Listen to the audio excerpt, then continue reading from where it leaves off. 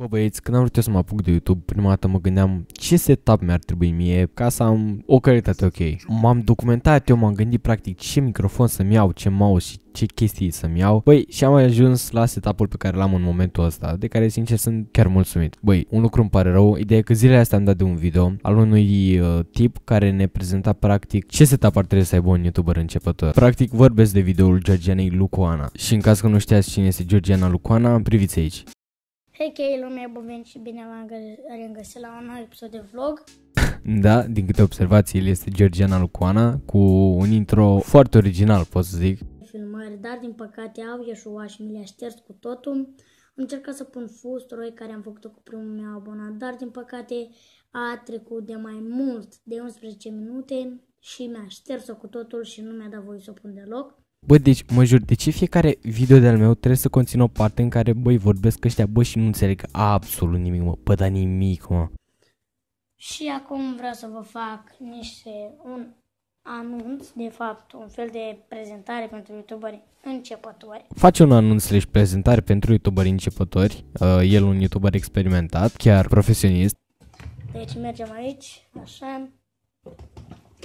Deci niște recomandări pentru cei care vor să se apuce de YouTube sau gaming, așa sunt începători, cam ce unelte le-aș recomanda să folosească. Când a zis unelte, parcă mă așteptam așa să vină cu un ciocan, o, o daltă, ceva așa, adică la propriu, unelte propriu zise.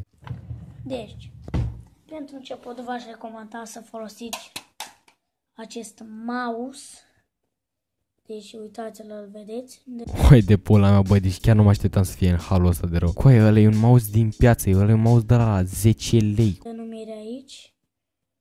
Asta este denumirea lui, este Cerex. Fuck, eu n-am un... Cerex. Eu am un Logitech G502, adică na, asta înseamnă că e clar, nu o să am nicio șansă în cariera de YouTuber. Cerex, sper să se vadă bine. Deci îl băg... Ne-am mai sunat numele ca să fim siguri că nu știe să citească. Gasa calculator și puteți să stați la el. Stați la el, stați așa la o bere, la un chill corect. Na, viață, ce știm noi. Și încă o recomandare cu aceste căști. Deci vreau să vă arăt cum îmi stau. Deci stați un pic, o voi pune așa.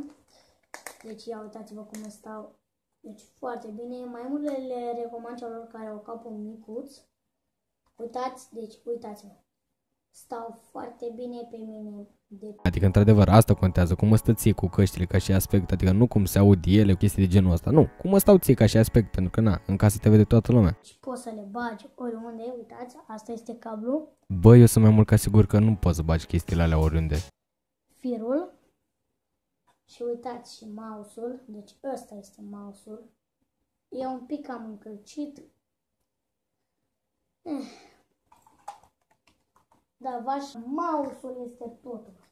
Deci în YouTube poți să ai tu și căști bune și totul bun, dar dacă n-ai un mouse de calitate bună, pe degeaba te apuci tu de game. Păi ce până la mea, degeaba te apuci tu de gaming dacă n-ai un mouse de calitate cum are el așa. Un mouse de ăsta, cum sună ea? Cerex. Așa, mersi. Sau dacă nu cumva, joci pe consolă.